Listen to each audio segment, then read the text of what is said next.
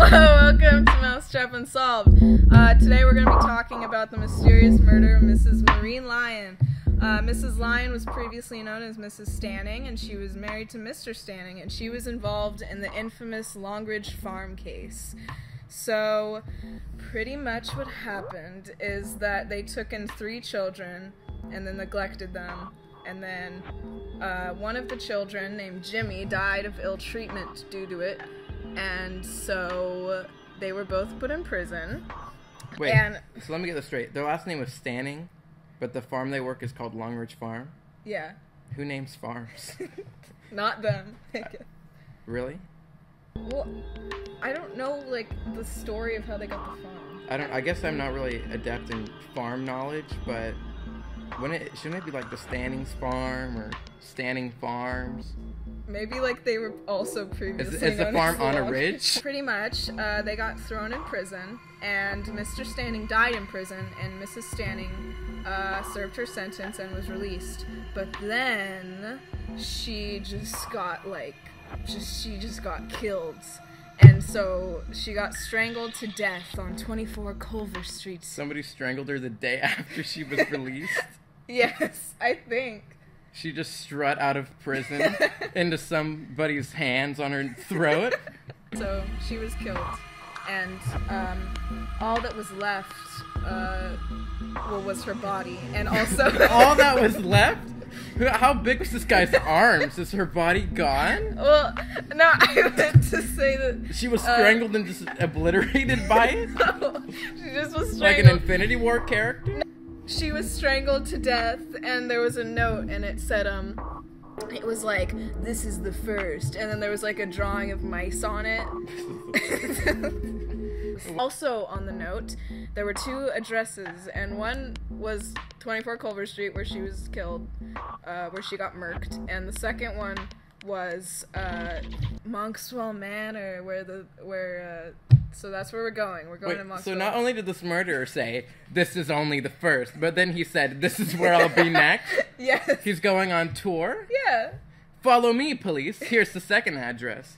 What a dip. Anyway, Yeah, well, you know, uh, um, there was an investigation led at Monkswell to figure out uh, who who of them was the murderer, and there were seven suspects, and uh, so let's get into that. So.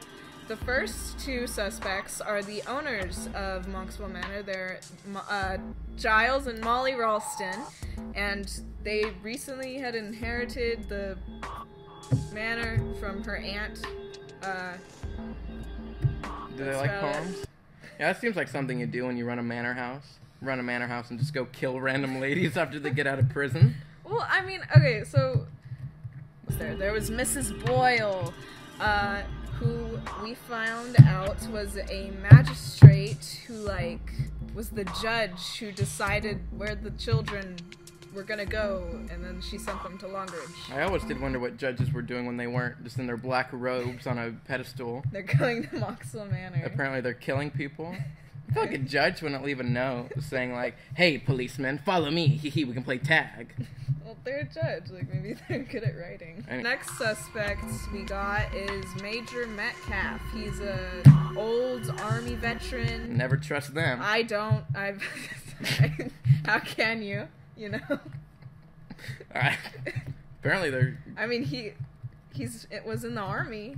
Maybe he has experience in He would know. strangulation. he would know. So he probably knows a thing or two. So we gotta look out for him, I guess. Uh, the next suspect is Christopher Wren, who was named after the famous architect we all know and love. Ah, yes, our favorite know. architect. You know, him. you know Chris. You know, good old Chris, Um, Chrissy Wren. Yeah, so he's named after him, and Chris was just real. He's just quite an odd fellow. Like he's just really bizarre, and And that just means he's strangling people in their homes, right? That's weird- it. If you're weird, you're obviously strangling people in their homes. I never know. I mean, he could be either that or he's he's an architect. The next suspect is Leslie Casewell. She um, she's a traveler. She travels abroad. She's been traveling abroad for quite a bit, but for some reason she's like, you know what? I want to go to Monkswell Manor. She's been she's like For what? she's been to like Italy and like Mallorca or whatever that is, but she's like, you know where I need to go? Monkswell Manor. And so now on to the last suspect. Yeah. Who? Okay. Yeah, the last suspect, Mr. Paravicini. Mr. Who? Mr. Paravicini. Mr. Panini? Yes, Mr. Panini is like an Italian. That's a fake name. There's no way. That's his name. There's no way on earth that that's a real name. Mr. It's- Paravicini? Yeah. I, I'm honestly kind of offended that somebody would think about such a horrible You fake think this is the oddest part about this entire thing? So Paravicini, uh, he's he's he's weird too. They're all pretty weird, you know, uh, as suspects are. He also the guests were like they noticed that he wears makeup to appear older than he is, but he moves like a. It's young- 2018. I'm not saying he can't. I'm just saying he does. Uh, very suspicious behavior, you know. That never happens. Ever. Yeah. Well, I mean, what wasn't was there a weather problem or Oh, there was a bl- there's a blizzard. Yeah. So so I mean that kind of explains that.